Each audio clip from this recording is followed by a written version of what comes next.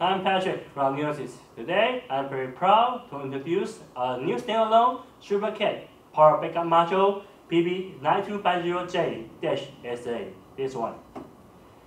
Some of you might already know about our previous power backup module PB2500J, this one, launched back in 2018.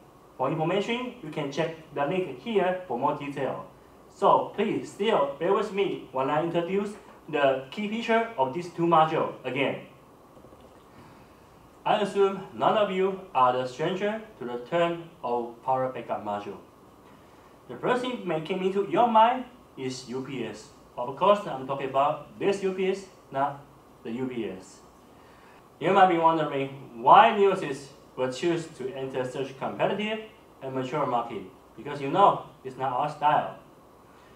The reason we're doing this is because we still see a lot of improvement can be made to the power backup solution.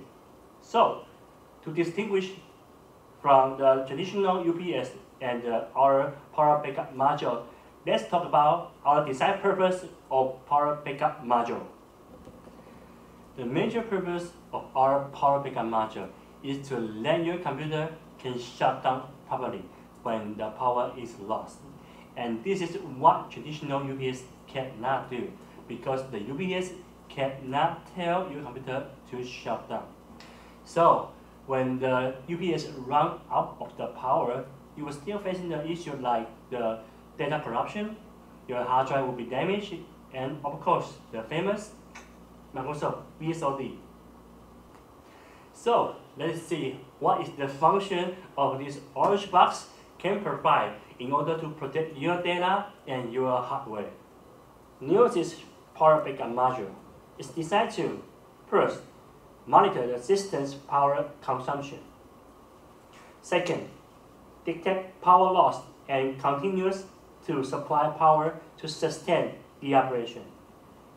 Third, actively trigger the shutdown process with sufficient remaining battery.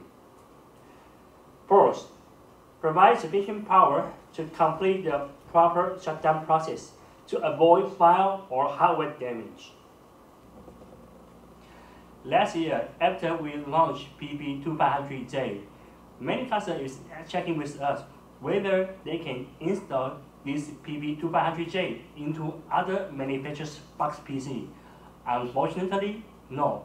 However, we still hear your feedback and voice. So now we decide to pull out this technology outside of the box and make it a, a standalone solution.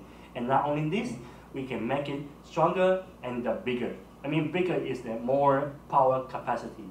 So now, this standalone power backup module can connect to any box PC like this one. Of course, we still wish you to use our box PC for your customer in your requirement. So now, let's see what other important feature that Neousys PB9250J-SA include. The first one would be the wide operating temperature. As you can see, with the black heat sink here, the operating temperature can be from minus 25 to 65 degrees which means it is very suitable for outdoor or harsh industrial environment deployments. And you can apply this module to the areas of application where a steady power supply is limited, such as in vehicle transportation, traffic enforcement, smart city, and etc. The second is patented SuperCAP energy management and versatile operating mode. PB9250J is compatible with in-vehicle ignition control signal relay, or it can also act as a power backup module with ignition on and off signal. And the last one is, this module can have up to 10 years lifespan. Unlike standard UPS, only can survive in air-cooled room the long lifespan is the characteristic of the SuperCAP technology. This is very important feature for outdoor deployment because the customer will not want to send their maintenance crew to the field too opportunely. So after we hear about all those introductions I mentioned before, now it's about time we can see the real demo. The white box over here is our power supply simulator. Of course, this orange box is the power backup module, and this is the, the box PC. Okay, you know you have to notice you always need to put the power backup module in between your power supply and the box PC. You can see the two wire here. This one is send the power on signal to the box PC, and this one is supply the power to the box PC. Okay. Now we turn on the summer power supply. Of course, it will make the computer start up as usual. Now you hear the beep sound. So now the Windows uh, start the boot up process. Okay.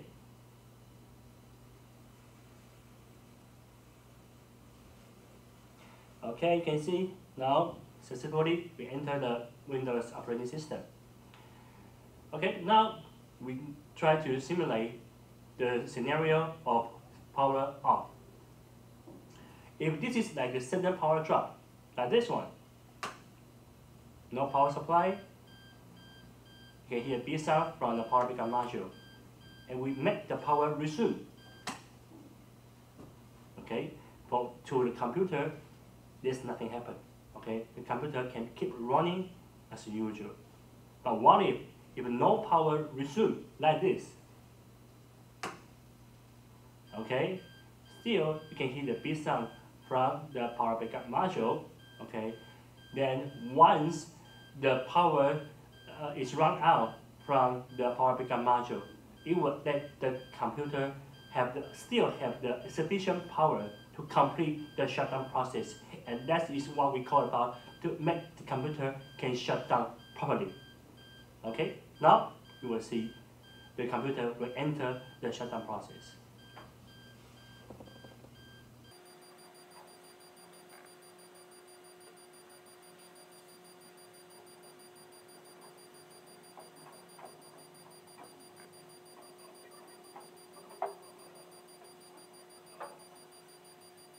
And this time, you may also see the LED indicator to show you how much power still storage in here.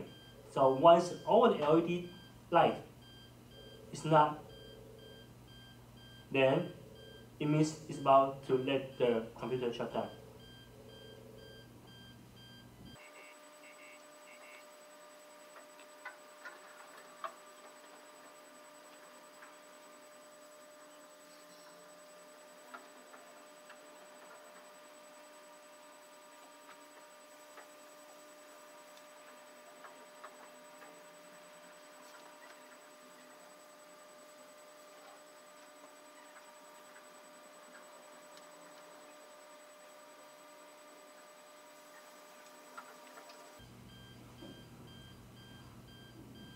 Okay, now you can see the, the computer can shut down successfully.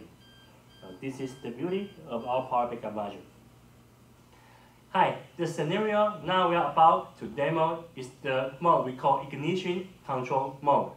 The white box over here is our power supply simulator. Here you can see we also have a switch button for to simulate the signal of uh, ignition.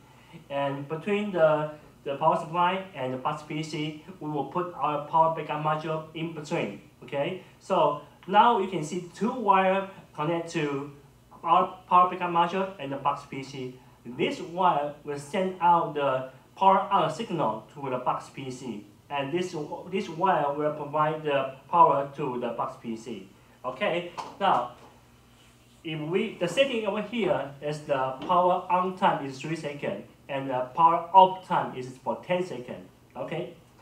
Now we switch on the ignition, which means we start up the engine of the vehicle in the real world. Okay. So in the real three seconds, you can see you hear the beep sound here. So this power module let the computer to boot up. So now you can see the computer now is in the boot up process. Okay. Now the computer is running now. So try to imagine now we are in the vehicle, the driver is about to switch off the engine, something like that. So remember, we talked about now the setting in this power backup module, the delay of time is for 10 seconds. So after the 10 seconds, the power backup module will ask this computer to shut down. So now it's shut down. So you can see this is the scenario you can apply to your real in-vehicle application. No, so in the real world, sometimes I would say that it's a very seldom case. The battery in your vehicle cannot provide very stable power supply. So maybe you will have the sudden power drop from your battery. So here is the simulation. We, we switch off the power supply, okay, the computer can still running. And what if the power come back, mean resume, the, the computer has no impact and can still keep running without any issue. So it can help you to protect your computer no matter what kind of battery quality you have in your vehicle. Today, we only use very short time to demonstrate two scenarios of our power backup module. I believe there are still many features deserve your time and effort to promote to your customer.